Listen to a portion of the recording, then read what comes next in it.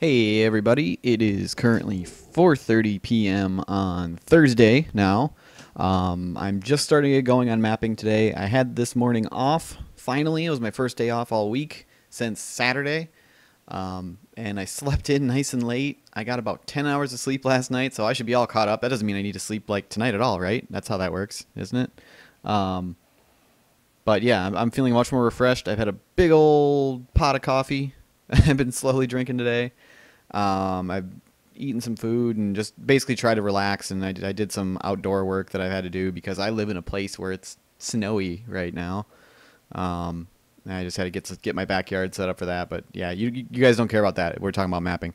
Um, so in the last video last night, I talked about the door fix thing that I did. How I I put everything up way high instead of uh, you know, the, the func breakables, I moved them up and I dropped them down instead of doing that. Instead of trying to move them through the ground because that would break.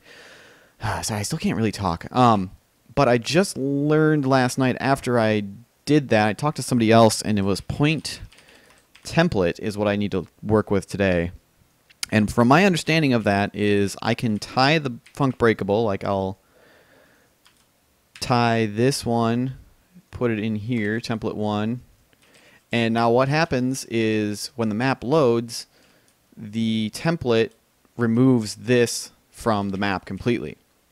And what I can do is call on the template and we'll just call it template one for now. I, that's probably not going to be the, the final name, but uh, I can call on the template and tell it to insert everything that's on this list. I can do up to, to 16 different entities on this list and have it do that all at once. So really, I probably could have done all of these with templates and called on them uh, that way instead of having to enable everything. And there, you know, there's a lot of different steps. Like this relay would have been a lot more simple. I wouldn't have had to worry about all these enables and setting things. I wouldn't have to worry about the damage filters. I wouldn't have to done any of that, and that probably would have saved me a little bit of work. But that's why I do these kind of things, and that's why I I try to learn different stuff uh, while I do them. And every project is a learning experience. So I learned about a new thing, and now I know for future maps and future stupid ideas that I can do something like that if I'm ever running into the problem of not being able to enable and disable something. So that's very exciting. it's a little frustrating because that was a lot of time I spent trying to work around it, but now I know. That's the important part is now I know to use it later.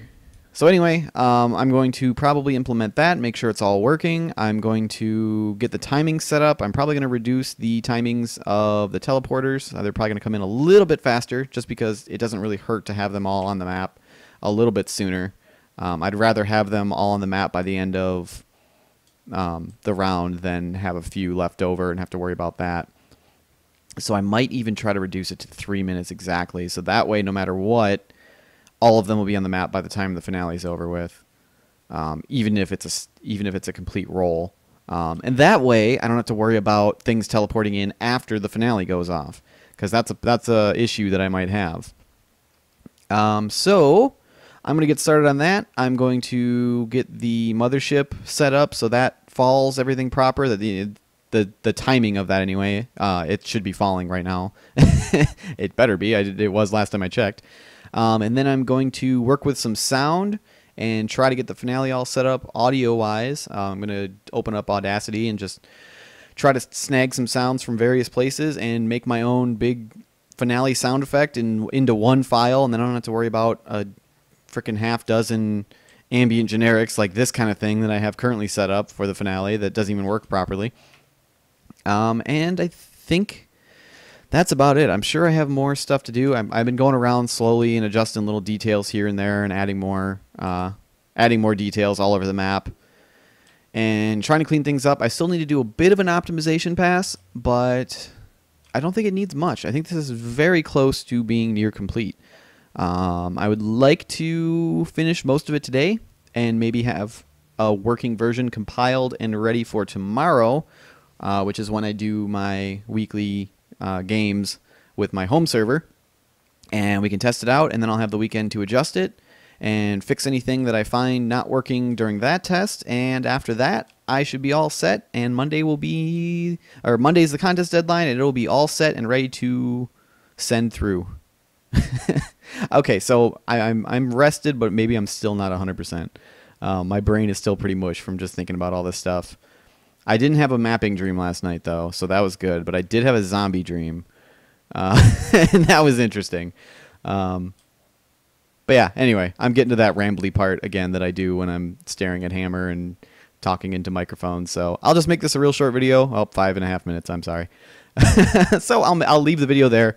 Um, this is just a sort of preliminary what I have planned. And tonight I might release another video depending on how much progress I make. Hopefully I'll be, be able to say in the next video, hey, look, it's all done. Um, but, you know, you never know. so I will see you guys then.